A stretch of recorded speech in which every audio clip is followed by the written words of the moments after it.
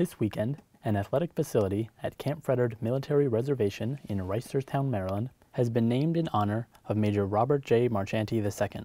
Marchanti was a member of the Maryland National Guard who was killed in action in Kabul, Afghanistan on February 25, 2012. It really meant a lot for me to be able to see this kind of unfold today and as a dedication not only to him but to his family.